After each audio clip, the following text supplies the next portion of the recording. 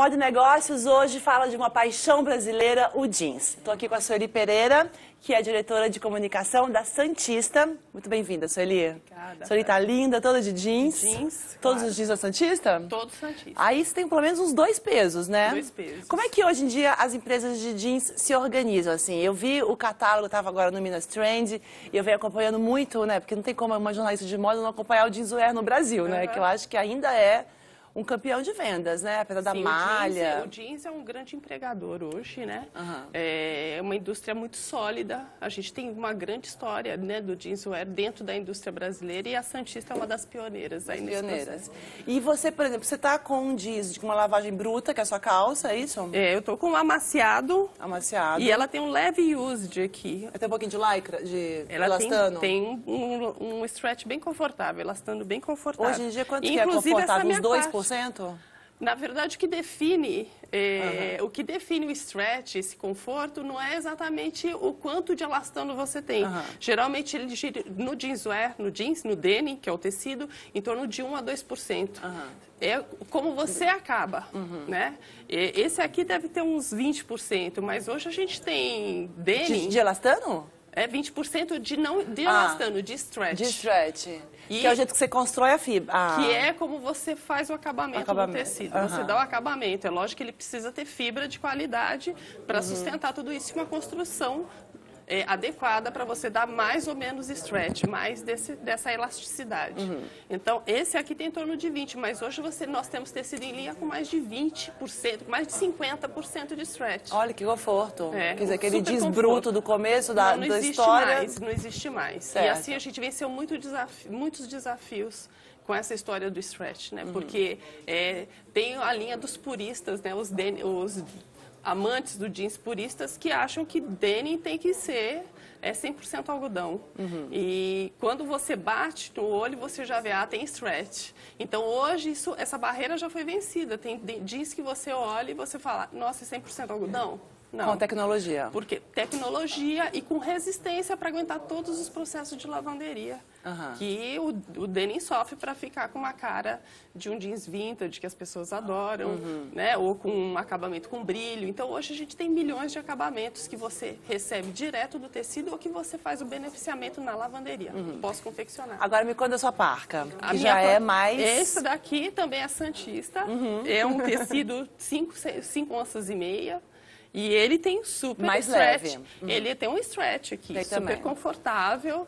Ele é de uma linha que a gente chama de polybrand, porque Ah. ele tem um super conforto, um caimento, muito foco em touch, o que a gente fala do o touch, que é bastante foco no caimento e no toque. Uhum. E com esse super stretch, e você lava, sofre ali, aguenta uma lavagem razoavelmente agressiva.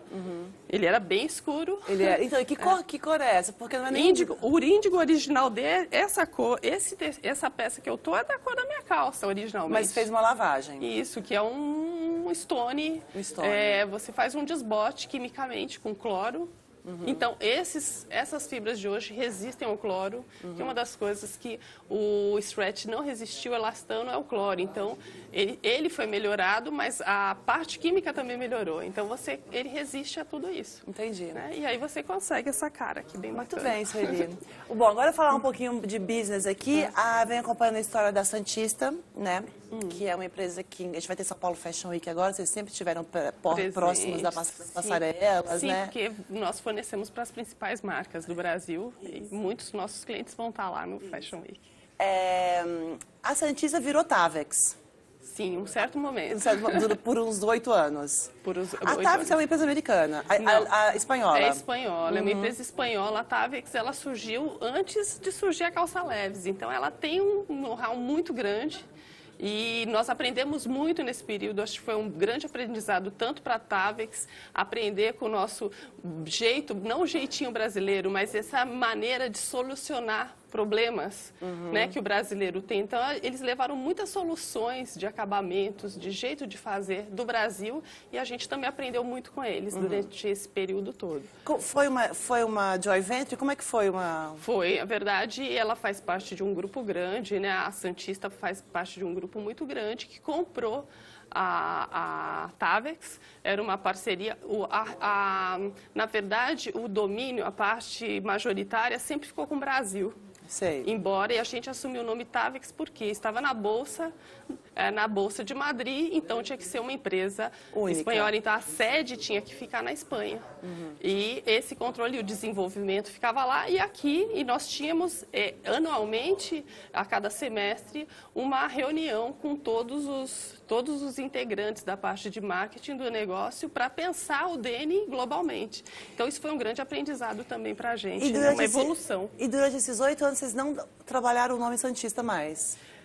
Nós trabalhamos em algumas linhas. A linha jeanswear nós, nós focamos com o nome Tavex, né? com esse foco mais europeu, que eu acho que primeiro o brasileiro valoriza muito isso. E, e exatamente por estar lá na Europa, para ter uma, uma visão mais global, como na Europa a Tavex era mais reconhecida, a gente optou por ficar com Tavex. Agora, a Santista também sempre foi muito bem reconhecida nos Estados Unidos. Ela foi uma grande fornecedora para Leves, que tem um, uma... é, um, como eu posso dizer, uma exigência de É. qualidade que não é qualquer fornecedor que consegue. Então, nós, quando nós decidimos retomar com o nome Santista, foi uma grande surpresa para todos nós internamente. Porque foi muito bem aceito no mercado. As pessoas entendem que Santista faz uma ótima entrega, é muito inovadora. É, a gente, durante todo esse período de Santista, construiu muitas parcerias é, assim, fortes, é, ajudando inclusive os clientes a inovarem. Então, quando nós voltamos, foi uma grande surpresa, porque todos ficaram super felizes. Então, a gente sentiu uma nostalgia até dos clientes, nessa coisa muito de reaproximação. Tiveram várias marcas que cresceram junto com a Santista. Então, é, foi bem interessante. E teve uma razão especial? Não só no Brasil, viu? É, né? Na América Latina, geral, Estados Unidos Vocês também. continuam exportando? Vocês têm uma fábrica na Argentina? Nós temos fábrica na Argentina, um mercado muito local, né? A Argentina é fechada, agora está se abrindo Graças a novamente, Deus, é. graças a Deus. E, mas a gente atende toda toda o hemisfério sul. Nós atendemos, hemisfério sul não, toda a América Latina, América do Sul. A gente não pode entrar ainda na América do Norte por questões contratuais, mas o foco é a exportação. E a Tavex continua existindo? Tavex continua existindo na Europa E e, vocês nos são Estados parceiros Unidos. dentro do mesmo grupo ainda? No- na verdade, ainda é, existe uma relação muito amistosa, né? Uhum. É, inclusive, nosso desenvolvimento hoje no Brasil conta com a equipe da Europa. Então, nós ficamos uma empresa brasileira, mas com desenvolvimento global. Como chama a empresa guarda-chuva que toma conta de todos vocês? A empresa Guarda-Chuva, É. Camargo. Ra- Camargo A Camargo Correia. Camargo Correia. Ah, vocês são da Camargo Correia? Sim, o grupo Tavex. Mas é uma empresa de bolsa de Santista, va- sim. Certo. Isso. Muito bem. E como está indo?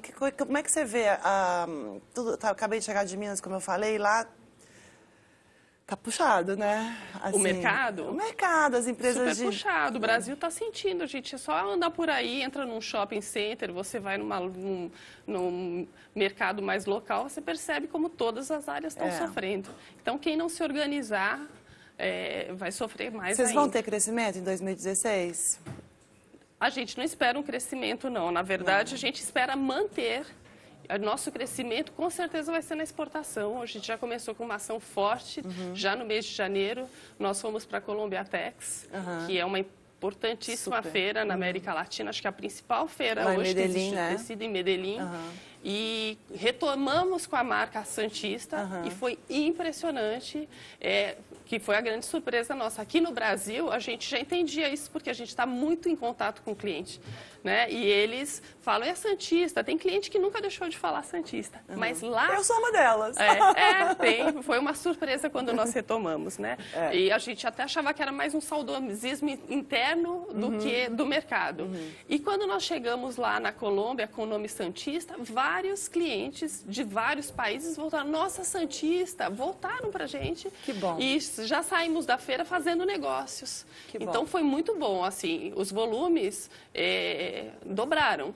Assim, já de janeiro, em relação ao janeiro do, de 2015, foi o dobro. Uhum. Mas é, isso é muito pouco para o que nós pretendemos. A gente quer retomar com muita força. O seu grande volume o mercado ainda que era nosso, O seu né? grande volume é inte- interno, né? É interno. É interno, mas eu acho que... Vai crescer. Eu acho que no geral, porque o dólar, no- como o, o dólar no patamar que estava, nós não éramos competitivos, né? É. Então, acho que foi geral, tinha muita importação. Então, Uhum. acho que a gente vai ter uma reorganização aí no setor e no jeanswear com certeza. Muito bem. Muito obrigada, Sueli. Eu quero deixar aqui, o, a Santista tem um Instagram? Arroba Santista Jeanswear. Está, arroba Santista Jeanswear. O nosso é o arroba Moda Negócios. Muito obrigada, Obrigada, Sueli. Vou, vou acompanhar de perto a evolução da Santista. Obrigada. Até o próximo.